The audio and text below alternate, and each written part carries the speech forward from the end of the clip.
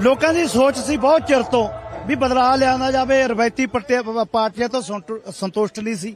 ਮੇਰੇ ਖਿਆਲ ਦੇ ਵਿੱਚ ਇਹੀ ਸੋਚ ਲੈ ਕੇ ਵੀ ਕੋਈ ਚੰਗਾ ਹੋ ਜੂ ਪੰਜਾਬ ਦੇ ਵਿੱਚ।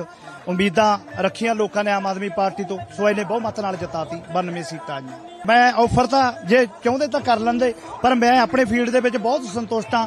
ਪ੍ਰਮਾਤਮਾ ਮੈਨੂੰ ਲੱਗਦਾ ਵੀ ਜਿਹੜੇ ਕਲਾਕਾਰੀ ਹੈ, ਇਹ ਤਾਂ ਵੋਟਾਂ ਨਾਲ ਔਖੇ ਸੌਖੇ ਜਿੱਤ ਲਾਂਗੇ, ਉਹ ਕਦੇ ਕਦੇ ਮੌਕਾ ਮਿਲਦਾ।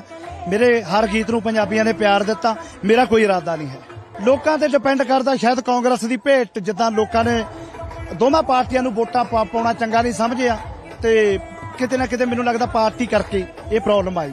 ਇਤਿਹਾਸ ਦੇ ਵਿੱਚ ਪੰਜਾਬ ਦੀ, ਆ ਸੌ ਚੁੱਕ ਸਮਾਗਮ ਹੈ ਜਿਹੜਾ ਸ਼ਹੀਦਾਂ ਦੀ ਧਰਤੀ ਤੋਂ ਸ਼ਹੀਦ ਭਗਤ ਸਿੰਘ ਦੀ ਨੀਤ ਸਾਫ਼ ਹੈ, ਇਰਾਦੇ ਨੇਕ ਨੇ, ਤੇ ਬਹੁਤ ਵੱਡਾ ਬਦਲਾਅ ਪੰਜਾਬ ਚ ਆਉਣ ਵਾਲਾ ਹੈ। ਵਸਦੇ ਪੰਜਾਬੀ ਵਿਦੇਸ਼ਾਂ ਚ ਵਸਦੇ ਪੰਜਾਬੀ ਉਮੀਦਾਂ ਰੱਖਦੇ ਨੇ, ਉਹੀ ਮੈਨੂੰ ਨੇ।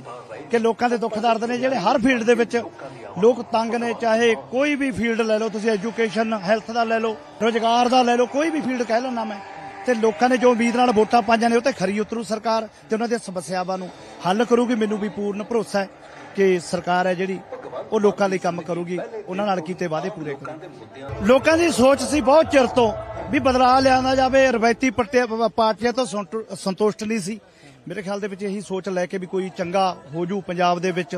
ਉਮੀਦਾਂ ਰੱਖੀਆਂ ਲੋਕਾਂ ਨੇ ਆਮ ਆਦਮੀ ਪਾਰਟੀ ਤੋਂ। ਸੋ ਇਹਨੇ ਬਹੁਮਤ ਨਾਲ ਜਿਤਾਤੀ 92 ਸੀਟਾਂ ਆਈਆਂ। ਮੈਂ ਆਫਰ ਤਾਂ ਜੇ ਚਾਹੁੰਦੇ ਤਾਂ ਕਰ ਲੈਂਦੇ, ਪਰ ਮੈਂ ਆਪਣੇ ਫੀਲਡ ਦੇ ਵਿੱਚ ਬਹੁਤ ਸੰਤੁਸ਼ਟ ਹਾਂ। ਪ੍ਰਮਾਤਮਾ ਮੈਨੂੰ ਲੱਗਦਾ ਵੀ ਜਿਹੜੇ ਕਲਾਕਾਰੀ ਹੈ, ਇਹ ਤਾਂ ਵੋਟਾਂ ਨਾਲ ਔਖੇ ਸੌਖੇ ਜਿੱਤ ਲਾਂਗੇ, ਉਹ ਕਦੇ ਕਦੇ ਮੌਕਾ ਮਿਲਦਾ। ਮੇਰੇ ਹਰ ਗੀਤ ਨੂੰ ਪੰਜਾਬੀਆਂ ਨੇ ਪਿਆਰ ਦਿੱਤਾ, ਮੇਰਾ ਕੋਈ ਇਰਾਦਾ ਨਹੀਂ ਹੈ। ਲੋਕਾਂ ਤੇ ਡਿਪੈਂਡ ਕਰਦਾ ਸ਼ਾਇਦ ਕਾਂਗਰਸ ਦੀ ਭੇਟ, ਜਿੱਦਾਂ ਲੋਕਾਂ ਨੇ ਦੋਵਾਂ ਪਾਰਟੀਆਂ ਨੂੰ ਵੋਟਾਂ ਪਾਉਣਾ ਚੰਗਾ ਨਹੀਂ ਸਮਝਿਆ ਤੇ ਕਿਤੇ ਨਾ ਕਿਤੇ ਮੈਨੂੰ ਲੱਗਦਾ ਪਾਰਟੀ ਕਰਕੇ ਇਹ ਪ੍ਰੋਬਲਮ ਆਈ।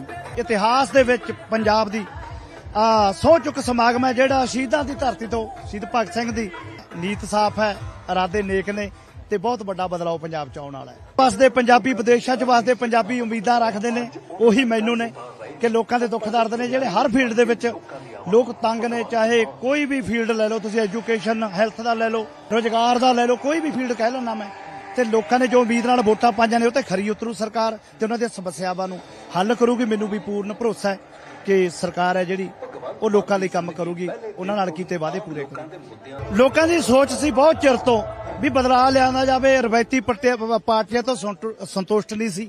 ਮੇਰੇ ਖਿਆਲ ਦੇ ਵਿੱਚ ਇਹੀ ਸੋਚ ਲੈ ਕੇ ਵੀ ਕੋਈ ਚੰਗਾ ਹੋ ਜੂ ਪੰਜਾਬ ਦੇ ਵਿੱਚ।